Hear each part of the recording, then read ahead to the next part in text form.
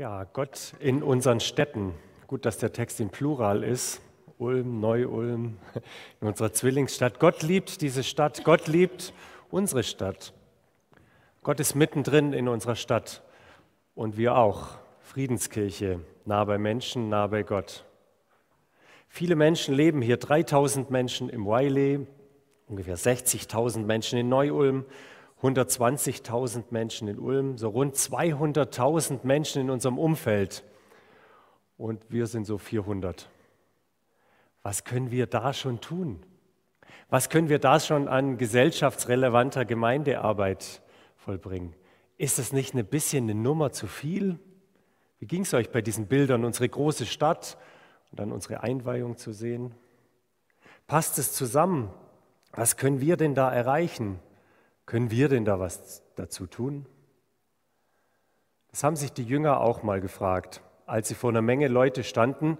Das waren so ungefähr 5000 Männer und noch mal so viele Frauen und die hatten auch noch Kinder. Da war richtig was los und die Jünger haben sich gefragt, was können wir hier schon tun? Es ist spät geworden. In der Einöde, dort auf einem Berg, Jesus hat mal wieder lang gepredigt. Ähm, die Leute haben Hunger gekriegt. Die Jünger sehen diese Massen und sehen das Problem und schicken sie weg. Also wir, das schaffen wir nicht. Die sollen in die Dörfer gehen. Jesus schickt die in die Dörfer, die sollen sich zu essen kaufen. Eigentlich okay. Sie sehen das Problem, sie erkennen, wie groß die Übermacht quasi ist. Okay, wir sind zwölf, okay, Jesus dazu 13, 5000, okay, kurzer Dreisatz, lalala, 0,2 Prozent uh, sind wir. Das ähm, ist nicht so, das ist eine homöopathische Dosis fast irgendwie. Was können wir schon erreichen? Interessant, ich habe das mal umgerechnet, 200.000 Einwohner und 400 Friedenskirchler, 0,2 Prozent. Also, ähm, hey, das ist nicht mal so. Also, als sie sehen das Problem und die sehen, die Leute haben ja ein Problem. Die sind nicht nur einfach so da, sondern die haben Hunger. Menschen, die Hunger haben, sind gefährlich. Ähm, also ich zumindest manchmal. Ähm, Menschen, die Probleme haben, die, die, die, die wollen ja nicht einfach nur da sitzen, sondern die bringen ja was mit. Wie geht es uns mit den Problemen unserer Stadt? Ist das nicht eine Nummer zu groß, wenn man auch jetzt noch mal ein bisschen über unseren Horizont hinausschaut? Das Thema Integration, wir haben gerade Zwangsprostitution gehört, Sklavenhandel, Terror, Angst, Rechtspopulismus oder auch im Privaten. Demenz meiner Eltern oder Burnout im Freundeskreis oder da kriselt eine Beziehung. Mensch, Jesus schickt die weg, da gibt es Profis für, die sollen sich da irgendwie drum kümmern. Also die Jünger sehen die Größe und sehen das Problem und Jesus sieht eine Chance. Jesus sieht was anderes. Jesus sieht eine Möglichkeit Gottes und sagt zu ihnen, hey, gebt ihr ihnen zu essen. Das erste Prinzip dieser Geschichte ist von der Sorge zur Leidenschaft. Der Sorge zur Leidenschaft. Wir Deutschen sind ja super darin, uns Sorgen zu machen. Also uns alles abzuwägen und, und Risikomanagement und Krisen abwägen und analysieren und so. Bei uns ist immer alles schwierig. Kurzer Blick zu unseren Latinos. Ist so, oder? okay, sie halten sich zurück. Genau, also oder ein Test. Ja, stellt euch vor, ihr wacht oder seid so im Halbschlaf oder träumt noch so ein bisschen oder so im Halbschlaf. Was für Gedanken kommen da? Kommen da, oh, was, was heute alles werden könnte und was das für ein Tag wird und nächstes Jahr, das wird alles super? Oder kommt eher, oh, ich weiß auch nicht, wie ich das schaffen soll und das muss ich noch machen und das noch. Wir könnten jetzt Hand heben. genau. Hm. Also wir sind gut im, im Sorgen machen und das ist ja auch richtig. Die Jünger haben ja recht. Das sind viele und die haben Hunger. Jesus betet das auch nicht einfach weg oder tut so, als ob es keine Probleme gibt, aber er sieht was anderes da drin. Er sieht eine Möglichkeit Gottes zu handeln. Und das macht den Unterschied aus. Von der Sorge zur Leidenschaft, was könnte denn passieren in unserer Stadt, was könnte denn passieren in meiner Nachbarschaft, in meiner Schule, in meinem Seniorenverein, wo ich da bin, oder, oder mit den Freunden, mit denen ich mich treffe? Was könnte passieren? Können wir uns das ausmalen? Dass Menschen zum Glauben kommen, dass eine Erweckung in unserem Land geschieht? Hm. Glauben wir das? Können wir das überhaupt sehen? Wir sind öfter oder oft voller Sorge. So auch das Volk Gottes. Wir gehen nochmal tausend Jahre weiter zurück. Das Volk Gottes ist verschleppt nach Babylon. Also wenn es eine Stadt gibt, in der kein gläubiger Mensch leben wollte, dann ist es Babylon. Babylon ist in der Bibel, das zieht sich von Anfang bis Ende durch, ist die Stadt, die quasi gegen Gott steht. Die Stadt voller Sünde und Gottlosigkeit, so diese Gegenstadt zu Jerusalem. Jerusalem, die Stadt des Friedens. Dort will man wohnen, dort will man hinkommen, dort will man am Ende sein in Jerusalem, nicht in Babylon. Aber jetzt sitzen sie da, durch den Krieg verschleppt an den Flüssen Babylons. Und die Frage ist, was mache ich jetzt da? Was machen wir mitten in dieser Welt, wo wir uns manchmal wünschen, noch viel näher bei Gott zu sein und am besten schon ganz bei ihm zu sein, aber wir sitzen halt noch in Babylon. Und jetzt kannst du dir überlegen, wie dein Babylon gerade aussieht. Die Situation, wo du denkst, Mensch, warum stecke ich da eigentlich gerade drin? Kann das nicht jemand anders machen? Eigentlich, genau, es ist unbequem, es ist stressig, es macht mir Sorgen. Und manchmal fragt man sich, Mensch, Jesus, komm doch schneller wieder. Setzt dem ein Ende, aber du sitzt in diesem Babylon. Was auch immer das für dich gerade ist. Und dann schreibt Jeremia einen Brief von Gott. Ihr kennt diese Stelle schon. Da heißt es in Jeremia 29,7: Bemüht euch um das Wohl der Stadt, in die ich euch hineingeführt habe. Ihr seid nicht aus Versehen in dieser Situation, nicht aus Versehen in Babylon. Da habe ich mal nicht irgendwie weggeschaut oder so, sondern ich habe dich da reingestellt. Und jetzt such den Shalom dieser Stadt. Klar, sehne dich nach Jerusalem, aber jetzt suche den Stadt, Bestes, den Shalom dieser Stadt. Und dann in Vers 11, ich habe Frieden, also den Shalom, für euch im Sinn und kein Unheil. Ich werde euch Zukunft schenken und Hoffnung geben. Mitten in Babylon, mitten in Neu-Ulm, mitten in deinem persönlichen Babylon, von der Sorge zur Leidenschaft, zu wissen, Gott hat hier was vor mit mir. Genau an diesem Punkt. Wenn wir das ernst nehmen, dann hat das zwei Veränderungen, zieht das nach sich. Eine persönliche Veränderung und eine Veränderung für uns als Gemeinde. Die persönliche Veränderung, dafür hat Jesus gebetet in diesem besonderen Gebet in Johannes 17, wo er für seine Jünger bis ans Ende der Zeit, für alle, die auch dann noch zum Glauben kommen werden, betet. Und da betet er äh, in, in Vers 14 davon, dass wir nicht von dieser Welt sind, und da denken die Jünger vielleicht, ja, stimmt, wir sind nicht von dieser Welt und so und es ist auch alles anstrengend hier in dieser Welt und äh, holt uns hier raus irgendwie. Wir wollen uns ja auch nicht die Finger schmutzig machen, ähm, aber das Gebet geht weiter.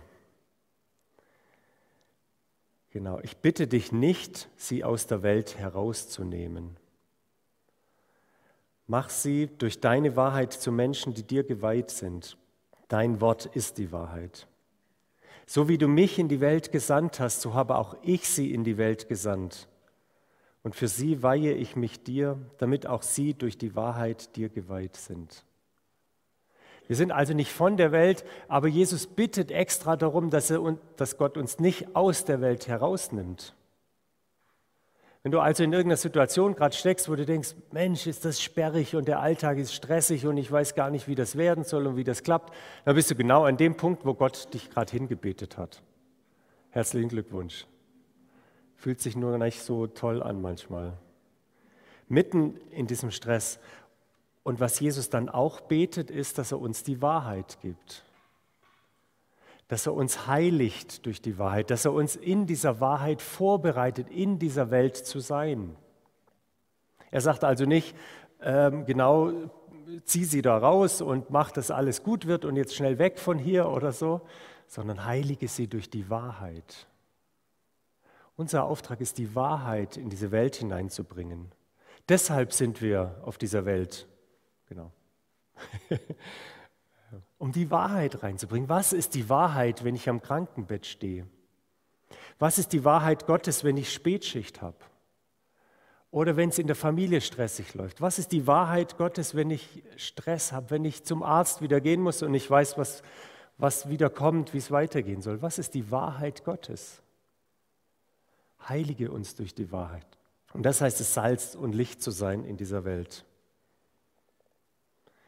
Wir hatten jetzt eine Predigtreihe vor, einig, äh, vor ein paar Wochen, da ging es darum, was, sind die, was ist die Wahrheit, wenn wir Fragen an Gott stellen. Warum lässt Gott das Leid zu? Wie ist das mit den Religionen? Wie können wir Wahrheit hineinbringen in unsere Gesellschaft? Wir werden nach Ostern eine Predigtreihe starten, die heißt Mit Gott auf Arbeit. Da seht ihr schon mal das Logo dazu. Zu fragen, okay, was bedeutet es, mit Gott in dieser Welt zu sein? Montagmorgens. Auf Arbeit, manche eben im Job, manche zu Hause in der Arbeit. Für jeden sieht Arbeit im Alltag gerade anders aus. Was bedeutet das? Also das ist so die persönliche Veränderung. Was, was ändert das in meiner persönlichen Haltung? Und das Zweite, die gemeindliche Veränderung. Was bedeutet das für uns als Gemeinde? Wozu sind wir Friedenskirche da? Für wen sind wir da? Für die Mitglieder oder für die Nichtmitglieder? Bonhoeffer hat das mal so formuliert. Die Kirche ist nur Kirche, wenn sie für andere da ist. Sie muss an den weltlichen Aufgaben des menschlichen Gemeinschaftslebens teilnehmen, nicht herrschend, sondern helfend und dienend. Kirche ist Kirche, die für andere da ist. Kirche ist die einzige Organisation dieser Welt, die für ihre Nichtmitglieder da ist. Super Job, oder? genau, als ich noch, ich denke, was, was für uns als Friedenskirche wichtig ist, dass wir nicht mehr rein diese, diese pastorale Ausrichtung haben, sondern eine apostolische Bedeutung bekommen. Was meine ich damit? Als Pastor so heißt ja meine Berufsbezeichnung. Das heißt ja übersetzt Hirte. Und da habe ich noch gelernt im Studium so, ja, man, der Hirte kümmert sich um die Schäfchen. Genau, um die 99 halt. Genau, so der ist dann da und betüttelt und guckt, genau, und besucht und liebt die Schäfchen und pflegt die Schäfchen und dann macht man das ganze Programm für die Schäfchen und noch eine Jungschar und noch das und noch ein Projektding und, und noch Kurse und so, alle Schäfchen, genau, alle äh, ganz glücklich im Stall und so, man hat alles zusammen. Aber das kann es ja noch nicht sein. So, jetzt sind wir an dem Punkt angekommen als Friedenskirche, eigentlich haben wir ja alles. Also wir haben ein tolles Gebäude jetzt und so und wir haben einen Finanzkreis und wir haben einen Miniclub und wir haben Kostbar und einen Winterspielplatz. Hey, eigentlich könnten wir jetzt die Türen zumachen und sagen, jetzt ist ja okay so. Ist doch gut so. Jeder Neue, der noch kommt, der stresst uns ja noch. Ah, wo soll der, den müssen wir noch unterbringen und so weiter. Ähm, merkt ihr, das ist, wenn man nur so als pastoral drauf guckt. Ich glaube, Gott möchte uns in was Neues hineinführen und das ist ja, äh, hat sich schon angedeutet über längere Zeit. Als Gemeindeleitung haben wir den Eindruck, dass wir wachsen sollen, damit wir noch mehr dienen können für diese Stadt. Damit wir Potenzial haben, um wirklich einen Unterschied zu machen in unserer Gesellschaft hier. 2015 auf der Klausur hat uns Gott gezeigt in der Gebetsrunde, Gebetsgemeinschaft, dass wir wie an so einer Schwelle stehen, also vor zwei Jahren.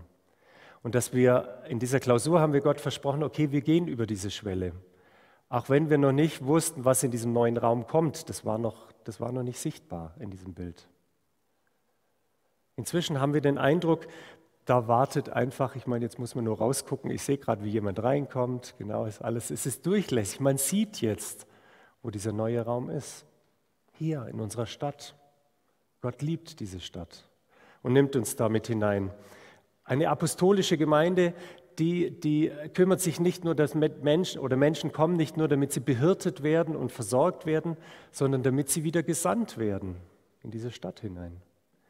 Eine apostolische Gemeinde ist nicht attraktiv, um Menschen anzuziehen, sondern um Menschen auszusenden. Neue Mitglieder, Mitglieder sind nicht dazu da, dass sie halt schön unsere Kurse füllen und alles, damit hier schön voll wird, sondern das sind die Gesandten nach Babylon und hier werden sie zugerüstet. Merkt ihr, da kommt wie so ein, so ein Spektrum noch dazu. Zudem, dass wir eine pastorale Gemeinde sind, eine evangelistische Gemeinde, eine diakonische Gemeinde, eine betende Gemeinde, kommt jetzt wie so ein Schritt mehr noch dazu, eine apostolische Gemeinde. Seid ihr dabei? Ah ja, da war was. Genau, das bewegt uns. Okay, das war der erste, der erste Punkt. Die nächsten werden ein bisschen kürzer, also es kommen noch vier. Ähm, okay, also das zweite Prinzip, wir kommen zurück zu unseren 5000 Männern. Das zweite Prinzip ist Strategie. Die Jünger sollen die 5000 Menschen einteilen. Sie sollen sie in Gruppen zusammensetzen, zu je 50 und 100. Habt ihr euch schon mal überlegt, warum? Sie sollen da ein Prinzip hineinbringen, eine Strategie hineinbringen. Sie sollen das Ganze organisieren. Und jetzt stellt euch das mal vor, wie die Jünger das machen. Wie gesagt, die, die Männer sind hungrig, das ist sonnig, es ist heiß. Äh, und jetzt probiert mal 5000 Männer zu unterteilen. Das ist ja schwer genug, eine Gemeinde einzuladen, von den letzten Reihen in die ersten Reihen zu kommen. Wie soll man dann 5000 Männer auf einem Berg koordinieren? Gar nicht so einfach.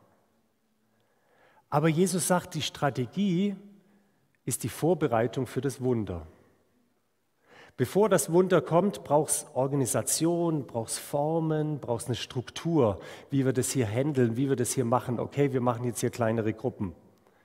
Und da kam bestimmt der Johannes, das war ja so ein ruhiger, der hat so gemeint, also liebe Leute, ähm, es tut mir leid, dass wir euch jetzt unterbrechen, aber könntet ihr vielleicht bitte, also es tut mir auch leid, dass ich jetzt Unannehmlichkeiten mache, aber würdet ihr euch vielleicht bitte ein bisschen so zusammensetzen? Oder Petrus, der sagt, okay, 50, 100 Gruppen jetzt. Also das könnt ihr euch aussuchen, was euch lieber ist. Ähm, genau, die Jünger, die, die dachten, okay, warum machen wir das jetzt? Da war noch kein Essen da. Und der Lieferservice hat auch nicht angerufen, dass er gleich kommt. Aber sie haben angefangen mit einer Struktur. Sie haben angefangen, wie ein Gefäß zu schaffen, in dem Gott dann wirken kann und handeln kann. Wir waren ja in Braunschweig, in dieser Gemeinde dort, die auch vieles sich entwickelt hat die letzten Jahre. Und die haben uns ein paar Mal gesagt, stellt Gott Gefäße auf. Stellt Gott Strukturen auf und, und eine Möglichkeit auf. Das, das Wunder ist sein Job. Gott muss das füllen, das Gefäß. Aber habt den Glauben, stellt einfach mal ein Gefäß auf. Stellt eine Struktur her, ein, eine Strategie her. Als Gemeinde machen wir uns heute Nachmittag Gedanken dazu, ein Sozialwerk zu gründen oder, oder eine Beratungsstelle, einen Kindergarten. Was ist dran? Wo möchte Gott, dass wir ein Gefäß aufstellen für ihn? Und wo möchte er, dass du in deinem Leben gerade ihm ein Gefäß aufstellst. Überlegst, wie, wie könnte das jetzt aussehen in diesem Babylon, in dem ich gerade bin? Was könnte ich tun, ohne zu wissen, wie das noch gefüllt wird? Aber wie könnte ich mal anfangen, und das ist ein Glaubensschritt, ihm ein Gefäß zur Verfügung zu stellen. Zwischen der Vision und dem Wunder kommt die Strategie, kommt das leere Gefäß. Und dann drittens, das dritte Prinzip, fang an, das Brot zu brechen. Als Jesus gebetet hat und das Brot dann so langsam gebrochen hat, das hat sich immer noch nicht vermehrt. Als die Jünger das in die Hand bekommen haben, waren das immer noch fünf Brote und zwei Fische. Jesus hat nicht schon so einen riesen Berg da aufgetürmt. Also es wäre ja schön gewesen, wenn da das Wunder schon passiert wäre. Ist es aber nicht. Das Wunder passiert erst im Teilen. Nicht vor dem Geben, sondern im Geben, im Moment des Austeilens. Und dann stellt ihr euch die Jünger nochmal vor, also zwölf Jünger, fünf Brote, zwei Fische. Also die, die, meisten Jünger hatten ein halbes Brot, zwei hatten dann noch Fische und so. Also so, dann geht Johannes da mit seinem halben Brot, so vielleicht, so ein halbes Fladenbrot, geht auf die erste Gruppe zu. Ja, geht so auf so eine Hunderter-Gruppe und dann denkt er sich, ah, ich fange bei einer 50er-Gruppe an geht dann lieber zu denen und denkt, okay, Moment, fünf, ich bin jetzt, ich brauche für ungefähr, okay, für tausend Leute, ja, okay, ich fange mal klein an. Und dann hat er ihn so das erste, so, so ein kleines Fitzelchen, okay, du kriegst jetzt das und du kriegst jetzt das. Er hat einfach angefangen. Er hat mit kleinem Stückchen angefangen, das Brot zu brechen. Und so fängt doch alles an. Wir sehen manchmal den Riesenberg. Fang einfach mit dem kleinen Brot an, was du hast. Und dann hat er da angefangen und dann hat er gemerkt, oh, das, das wird gar nicht weniger. Oh, das ist gut, ja, okay. Und dann wurden die Stückchen ein bisschen größer, so ein Zentimeter, ab jetzt so ein Zentimeter, okay. Und dann schon ein bisschen mehr und dann hat er gemerkt, oh, oh das wird, das wird, und wow, zwölf Körbe sind übrig geblieben. Fang an, das Brot zu brechen. Das bisschen, was Jesus dir gerade gibt, auch wenn du denkst, das reicht niemals, wo soll das bis morgen vielleicht? Ja, dann reicht es bis morgen. Und dann kommt das nächste Stück Brot.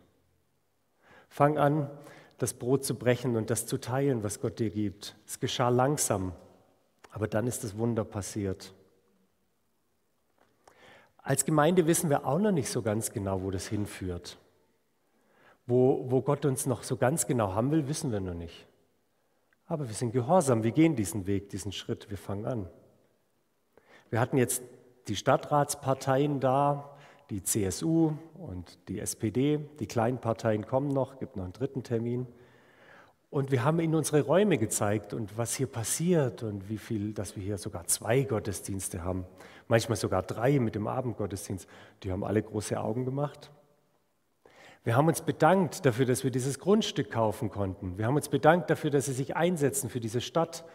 Ähm, und die, sind, die, die haben gestrahlt wie so ein Honigkuchenpferd, weil sie gemeint haben, ähm, normal, wenn sie eingeladen werden, kriegen sie halt Schimpfe. Also zu wenig Parkplätze, zu, zu wenig Kindergartenplätze, zu wenig da, la, la, la. Ähm, und wir haben uns einfach nur bedankt und hatten leckeres Essen da und so. genau, aber wir haben ihnen unsere Ideen mitgeteilt. Wir haben gesagt, so, hier sind wir. Was könnte kommen? Was braucht diese Stadt? Wir wissen es nicht. Aber wir fangen damit an, denn wir wollen dieser Stadt dienen. Wir sind bereit dazu. Mal gucken, was Jesus macht aus diesem Stück Brot. Habe auch den Eindruck, dass in letzter Zeit Dinge passiert sind, wo Gott uns prüft, so wie im Kleinen. Da waren zum Beispiel zwei Obdachlose, schon ein bisschen her, die bei uns überwintert haben. Ähm, ein spielsüchtiger Mann, der in unserer, den wir aufgenommen haben, dem wir Gemeinschaft geboten haben ist jetzt auf Therapie.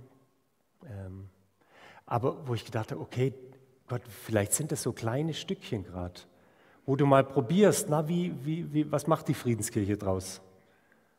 Und wer im Kleinen Großes, dem traut Gott, wer im Kleinen treu ist, dem traut Gott noch Größeres zu. Also brech das Brot. Und das nächste Prinzip, das vierte Prinzip, zwölf Körbe. Die Jünger bleiben nicht hungrig zurück.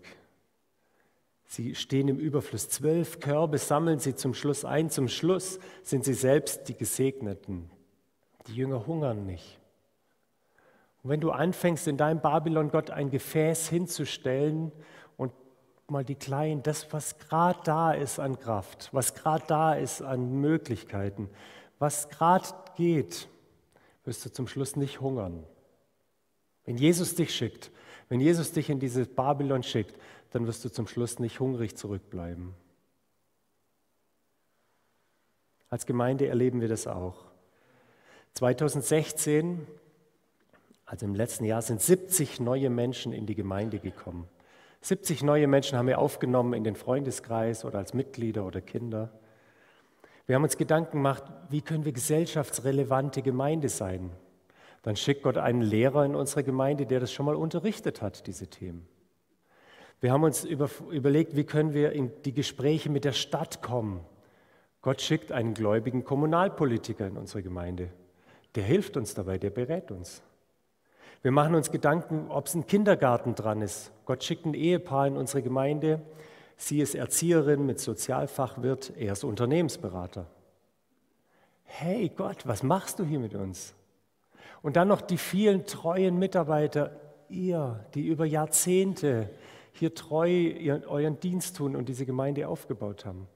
Was sind wir beschenkt? Schaut euch das Foyer an. Wie hat uns beschenkt? Wir gehen nicht leer dabei aus. Gott lässt sich nicht lumpen. Gott versorgt uns gigantisch. Und jetzt kommt noch das fünfte Prinzip. Die Geschichte ist nämlich noch nicht ganz zu Ende. Da geht es um die andere Seite. Fünftens, die andere Seite. Genau, der Bibeltext, den kannst du nochmal wegmachen, der kommt gleich nochmal. Nach dem Wunder sollen die Jünger mit dem Boot zur anderen Seite fahren. Und habt ihr das schon mal gelesen? In der Bibel steht oft an manchen Stellen, sie stiegen ins Boot, um an die andere Seite, auf die andere Seite zu fahren. Was meinten das? Wissen die nicht, wie die Stadt da heißt? Oder warum heißt es da ein paar Mal auch schon vor unserer Geschichte, lasst uns an das andere Ufer fahren? Was meint es? Der See Genezareth, dort im Norden Israels, der hatte in, durch, die, durch den äh, See quasi verlief eine Grenze. Es gab eine jüdische Seite und eine heidnische Seite. Es gab die eine Seite, wo halt Jesus gelebt hat und Tiberius und Kapernaum. Und da gab es die andere Seite, dort, wo die Städte Kanaans liegen. Die heidnische Seite, die böse Seite, da, wo man nicht hingeht als guter Jude. Und wenn man da irgendwie, dann muss man den Staub von den Füßen schütteln. Man verunreinigt sich, wenn man dorthin geht. Also never, never geht man dorthin. Das gehört sich auch gar nicht. Man macht sich quasi schmutzig. Ein guter Jude würde niemals dort rüberfahren. Jesus sagt, wir fahren rüber. Mal wieder typisch Jesus. Jesus möchte mit seinen Jüngern in ein neues Gebiet fahren, in das, wo sich keiner sonst hingetraut hat. Und er sagt so, wir fahren jetzt rüber und Jesus legt sich schlafen. Na super. Sturm kommt auf mitten in der Nacht ähm, und die Jünger wissen natürlich, warum kommt Sturm auf, weil wir wollen zu der anderen Seite hinüberfahren auf die andere Seite. Da sollen wir gar nicht hinfahren, das ist nicht unser Gebiet und so. Sturm. Sie wecken Jesus, der stillt den Sturm.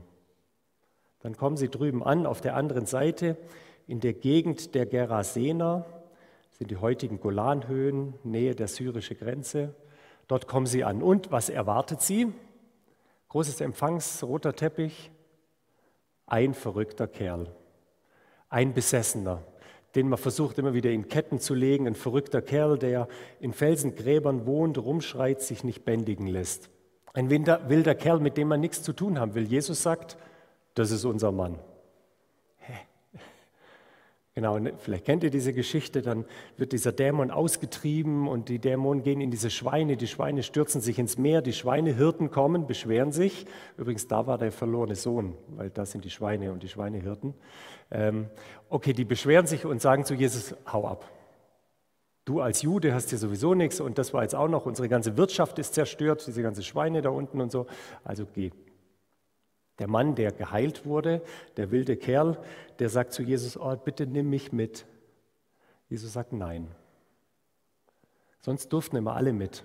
Also die hat er ja immer alle mitgenommen und äh, der nicht. Er sagt zu diesem wilden Mann, geh in dein Haus zurück und geh in deine Stadt zurück. Der wird zum Missionar für diese ganze Gegend, für diese ganze Region. So, die Jünger fahren wieder zurück und es geht weiter mit den Wundern und Gleichnissen und Erlebnissen und dann eben diese Speisung der 5000. Und was passiert danach? Jesus schickt sie wieder rüber.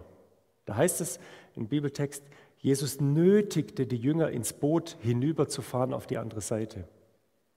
Er trieb sie in das Boot auf die andere Seite, weil die wollten das gar nicht. Oh, Jesus nicht schon wieder darüber. Merkt ihr, die Bibeltexte machen Sinn, wenn man mal ein bisschen checkt, worum es hier geht. Ähm, also, und diesmal schickt Jesus sie sogar allein.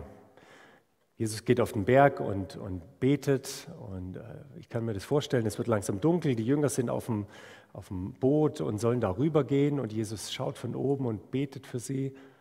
Es kommt natürlich wieder Sturm auf, natürlich andere Seite, ich habe es gleich gesagt, da sollen wir gar nicht erst hingehen und so. Jesus macht sich auf den Weg, geht auf dem Wasser, möchte eigentlich, so steht es da, an ihnen vorübergehen und auf der anderen Seite auf sie warten.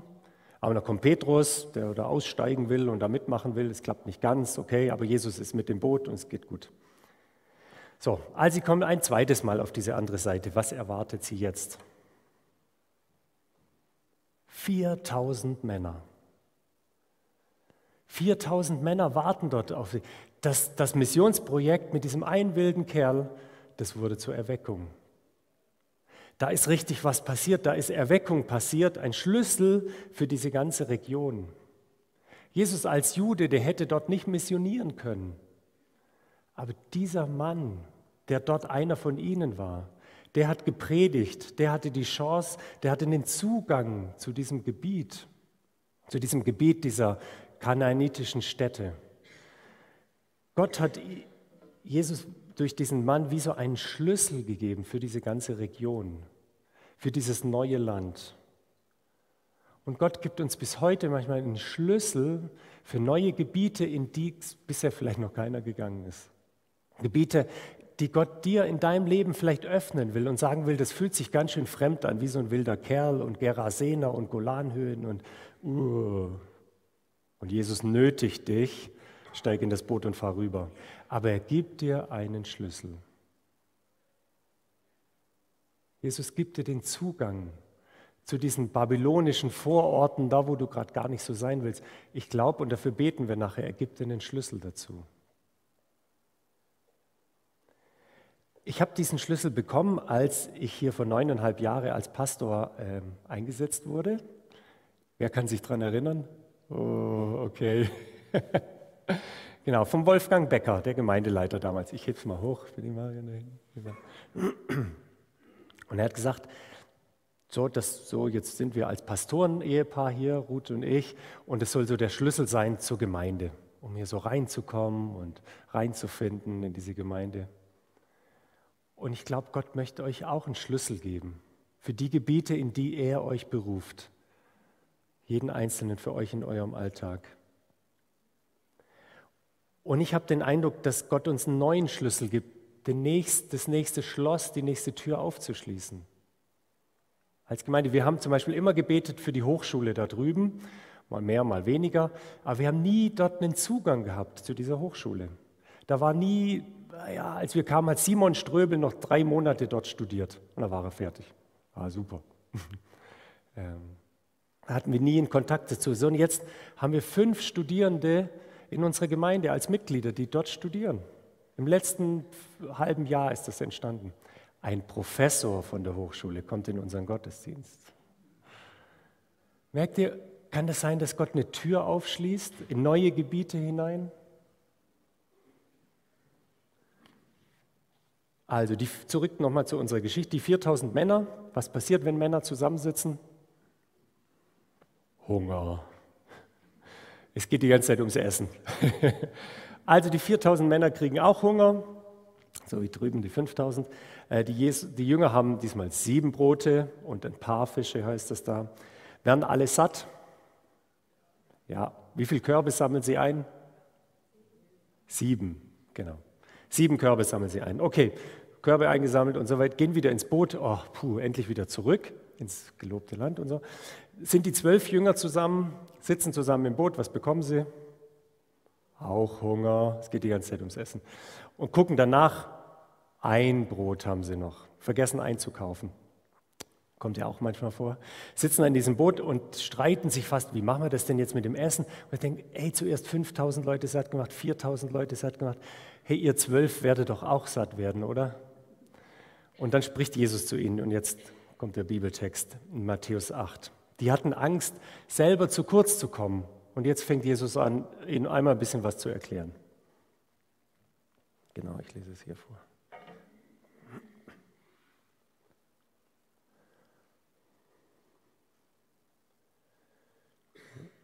Ihr habt doch Augen, könnt ihr nicht sehen? Ihr habt doch Ohren, könnt ihr nicht hören? Erinnert ihr euch nicht daran, wie ich euch fünf Brote für 5000 in Stücke brach? Wie viel Körbe voller Rest habt ihr damals aufgesammelt? Zwölf, antworteten sie. Und als ich die sieben Brote für die 4000 in Stücke brach, wie viel Körbe voller Rest habt ihr da aufgesammelt? Sieben. Das ist so ein bisschen wie so eine Mathe-Sachaufgabe irgendwie, okay, aber sie haben es drauf.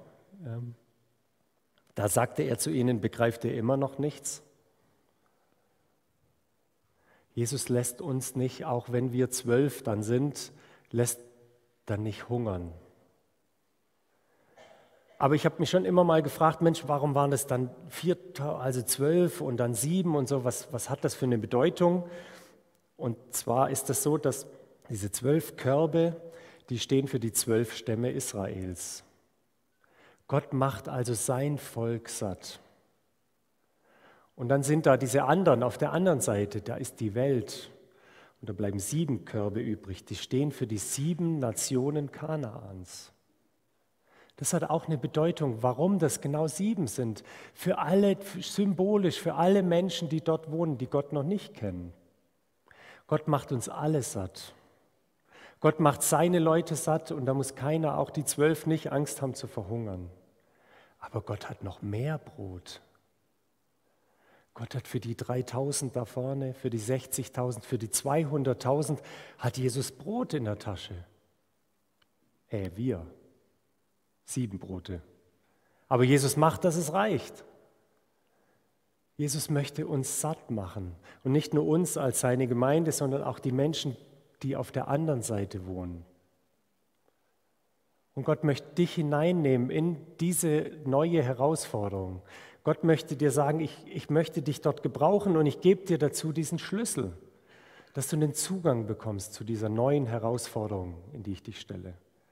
Dass du keine Angst haben musst zu hungern, sondern dass da viele da ist, dass viel da ist und dass ich das versorgen werde. Wir möchten gleich für Menschen beten, die sagen, ja, ich brauche diesen Schlüssel. Ich brauche Jesus, ich, ich stehe vor einer verschlossenen Tür und ich brauche, dass du mir da einen Zugang gibst. Und ich brauche den Glauben, dass du da satt machst und ich nicht selbst zu kurz komme. Ich darf euch schon mal bitten, nach vorne zu kommen. Wir wollen jetzt in eine Zeit gehen ähm, des Lobpreises, der Anbetung. Aber am Anfang möchte ich beten und ich möchte besonders für die beten, die sagen, ich möchte von Jesus diesen Schlüssel haben für eine neue Herausforderung, in die ich, in die ich komme. Genau. Ich lade euch ein, einmal aufzustehen.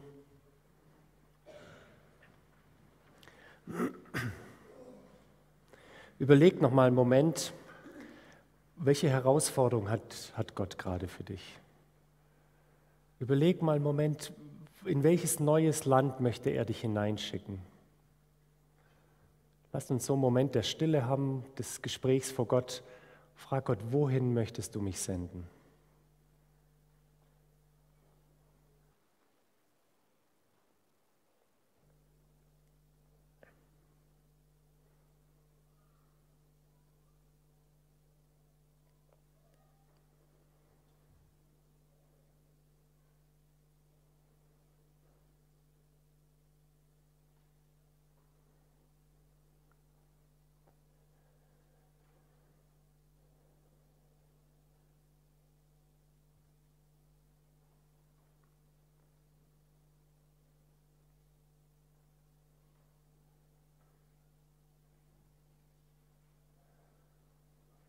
Und ich möchte jetzt für die beten, die so einen Schlüssel brauchen.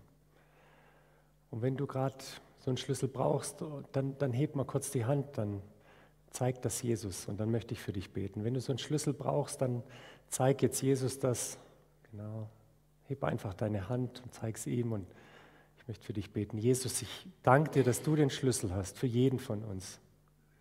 Danke, Jesus, dass du weißt, wie der Zugang funktioniert, dass wir kleine Stücke brechen können dass wir was abgeben können vor der Herausforderung, in der Herausforderung, in der wir jetzt gerade stehen. Und du hast jeden Einzelnen gesehen, der diesen Schlüssel von dir jetzt braucht und erbittet. Und dass es ein Schlüssel voller Weisheit und Klarheit ist. Ein Schlüssel voller Wahrheit, wie du uns heiligst in der Wahrheit. Dass dieser Schlüssel die Wahrheit ist, in diese Situation hineinzusprechen und das zu sprechen, was du sagen möchtest in diesem neuen Gebiet. Und dass du das Wunder tust und dass du durch diesen Schlüssel satt machst. Alle Menschen, die da Hunger haben, alle Herausforderungen, die da sind, alle Not, die da ist, alles, was uns wie zu groß erscheint. Du bist größer. Jesus, du bist viel größer und du hast den Schlüssel dazu. Genau, wir verehren dich. Wir wollen das für dich einnehmen, neues Land, auch als Gemeinde, Jesus das neue Land dir schenken. Das ist nicht für uns, sondern für dein Reich, für dein Königreich, weil du bist der König. Für den König wollen wir dieses Land einnehmen. Dafür soll das alles sein, dass du uns diesen Zugang gibst, dass wir dir erschließen, dieses Land, dir zur Ehre, für den König.